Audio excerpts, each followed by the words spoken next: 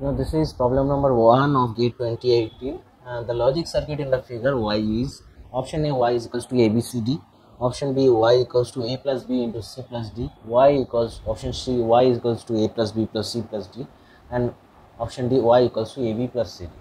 Now these are all NAND gates. So this uh, this is the input AB. So the output of the this uh, or uh, NAND, uh, NAND gate is A B bar right?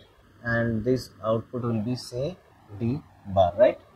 Now what will be this uh, output? Y is equals to A B bar into C D bar full bar. Now we apply the De Morgan's theorem.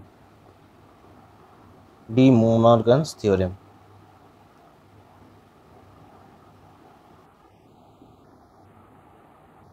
what is given by De Morgan's theorem. One is complement of the product. Complement of the product.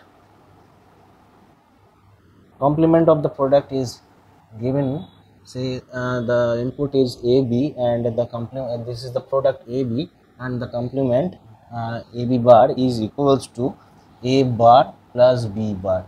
Now uh, this is uh, theorem number 1 and theorem number 2 is for complement of sum.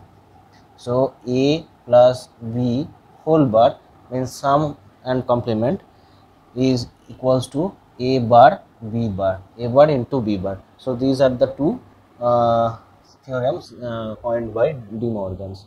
So in this uh, uh equation y is equals to ab bar into cd bar whole bar what we have we have to take this uh, theorem number 1 so this will be a b bar over 1 bar plus c d bar over 1 bar. So this will be a b plus c d. So the correct option is option d